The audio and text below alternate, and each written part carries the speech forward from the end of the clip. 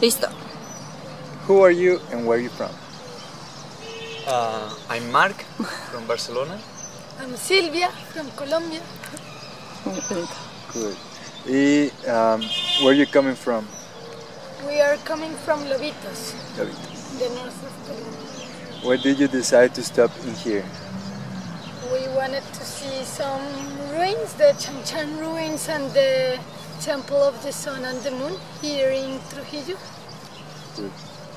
Where do you want to go next? We're going to uh, Casa Grande. Where is it? Uh, Casa Grande is uh, like 30 kilometers north from Trujillo. We have a French family there, so I think we're gonna visit.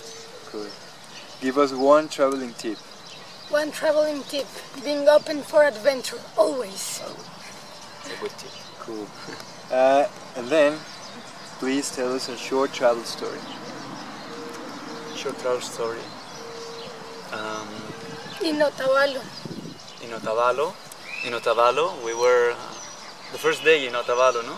Yeah. It was our first day in Otavalo, and we heard this this music, really good it was music. uh, interesting music and we and we got close to a couple of girls and asked them what music was. Yeah, just to take note of it, and and well, they just wrote the music down for us and, and told us that there was a concert but, uh, afterwards. So if we, if we were invited, if we wanted to go, so we went after that, and well, party was the party was really It was really interesting because we were the only like white like white people in Foreigners. there. Yeah, foreigners. We are, it was so obvious that, that we weren't from there and it was a really nice experience, a really authentic one, you know.